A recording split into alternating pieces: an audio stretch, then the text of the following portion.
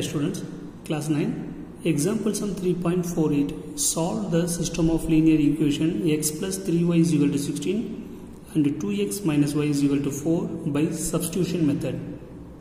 By let's see the two equation by the substitution method.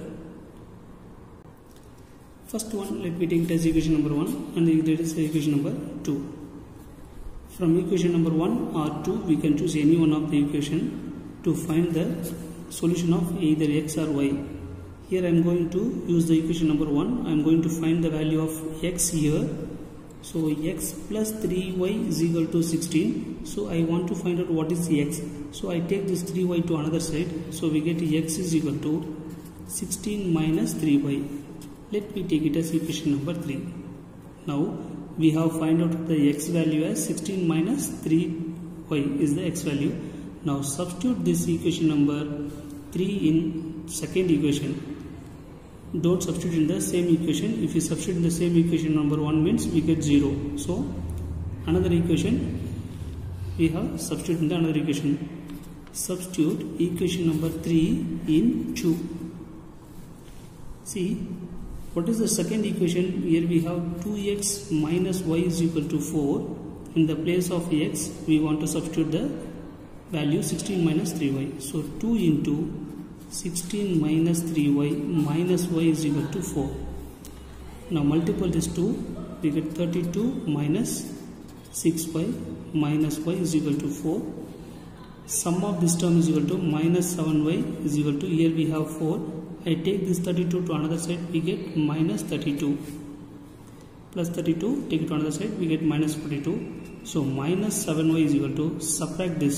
So we get minus 28 then we want to find y only. So I take this 7 to another side minus 28 divided by minus 7 both numerator and denominator we have the same symbol so the symbol will be cancelled then y is equal to 7 ones are 7 fours are so y is equal to 4 now we have find out that y is equal to 4.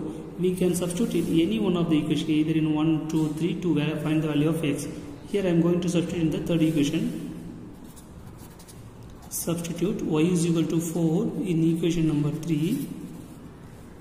We get the equation number 3 is x is equal to 16 minus 3 times of y that is 3 times of 4.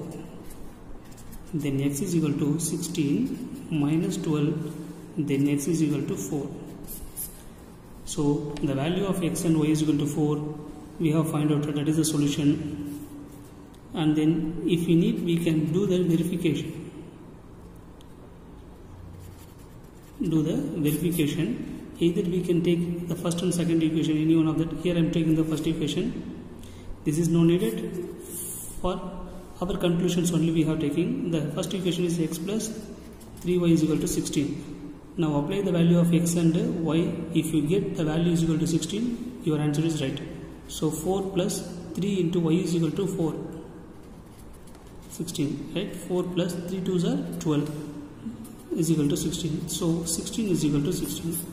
So the x, when you apply the x and y value, we get this RHS value means your answer is right.